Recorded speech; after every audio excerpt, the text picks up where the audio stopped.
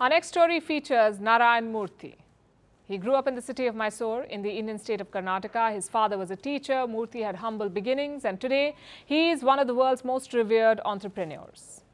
In 1981, he founded Infosys. It has become one of the world's biggest outsourcing firms and it made Murthy a billionaire. His wealth is estimated to be over $4 billion. He is also the father-in-law of Rishi Sunak, the UK Prime Minister. And this week, Narayan Murthy went viral over the 70-hour work week. That's what he recommends. He said, the youth of India should put in longer hours at work. Let me quote from what he said. India's work productivity is one of the lowest in the world. So my request is that our youngsters must say, this is my country. I want to work 70 hours a week. And why did he say this? Let me quote again so that India too becomes a number one or number two nation in terms of its GDP. This was Murthy's message. He wants the youth of India to help boost the country's growth story. It sounds logical. Except that his comments come at a time when there's been a drastic shift in people's outlook about work. China, for instance, has what is called the 996 People work from 9 a.m. to 9 p.m. six days a week. That's 996. And the Chinese youth has been protesting this philosophy.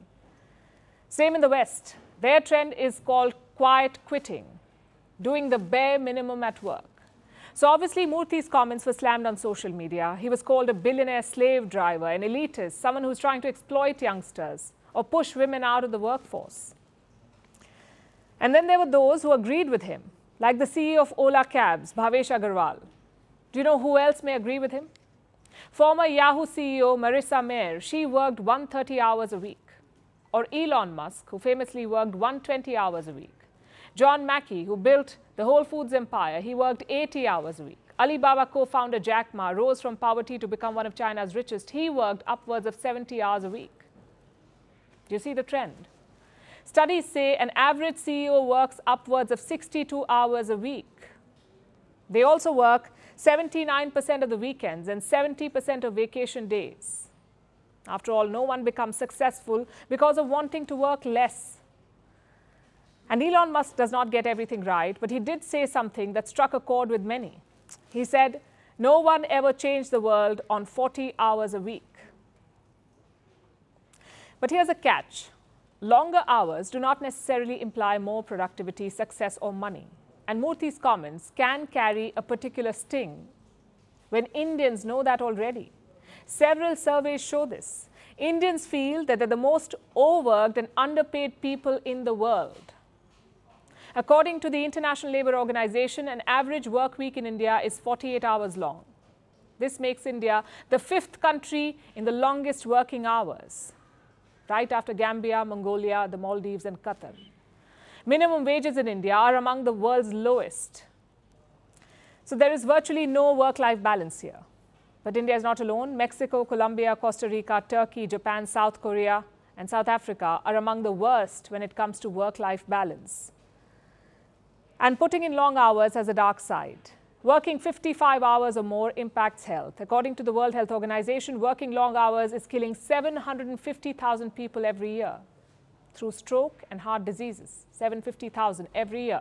In other words, more people are dying from overwork than from malaria. This is so common in countries like South Korea and Japan that they have a word for it, a word that describes death by overwork. But that's not to say that working longer hours is bad. It's just that it's not for everyone. The world over, people continue to put in the hours. They aren't forced to. They want to. Many of them remain alive, kicking and successful. Because for those who want to put in the hours, science has a cheat code. The only way to sustain working incredibly high number of hours is by having fun. Sounds ironic, I know, but psychologically, time is not the same for everyone. Yes, same hours, same days each week, but we experience time differently. And when we're having fun, it passes by really fast like when hanging out with friends or working on a very interesting project. Time flies. So the key to working a lot is having fun with it, enjoying what you do.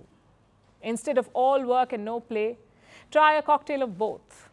It can be a powerful juice.